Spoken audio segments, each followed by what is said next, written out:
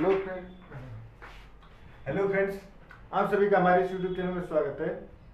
Friends इस video में हम जो पढ़ने वाले हैं, वो है हमारे पास जैकोबियन एंड इट्स प्रॉपर्टीज़ तो फ्रेंड्स जैकोबियन क्या होता है? पहले हम ये पढ़ते हैं। If u and v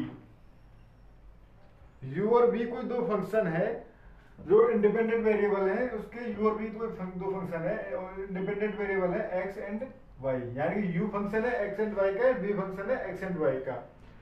Then Jacobian of u Jacobian of u भी क्या होता है? उसको हम सिंपली j, x, y भी लिखते हैं सो j u v j u v जो होता है, वो क्या होता है? वो होता है हमारे पास del u upon del x del u upon del y del v upon del x and del v upon del y. ये जो फ़ंक्शन ये जो डिटरमिनेंट होता है, ये होता है हमारे पास इसका Jacobian Jacobian of u v. इसको हम पढ़ते हैं जैकोबियन ऑफ़ u v. ये डिटरमिनेंट इस डिटरमिनेंट को हम पढ़ते हैं जैकोबियन ऑफ़ u v.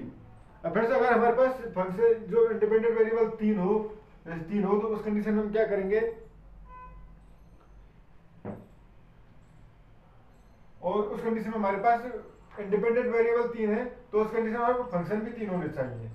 तो हमारे पास ये, हमारे पास यू बी एंड इसको मान लेते हैं, एक अलग वेरिएबल वो मान लेते हैं हम।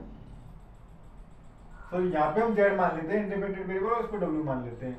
और इस कंडीशन में हम Jacobian of you V and W जो होगा, वो हम पढ़ेंगे। Del you upon del x del you upon del Y del you upon del Z del B upon del x del B upon del Y del B upon del Z and del W upon del X sorry del del W upon del x del W upon del Y and del del W upon del Z इसका जो determinant होगा, वो इसका Jacobian होगा। इसको हम ऐसे भी लिख सकते हैं, और हम इसको चाहे तो ऐसे भी लिख सकते हैं Jacobian u v W with respect to x y and z तो इस तरह से भी उसको शो कर देते हैं। अब फिर जैकोबिन की कुछ प्रॉपर्टीज़ पढ़ेंगे।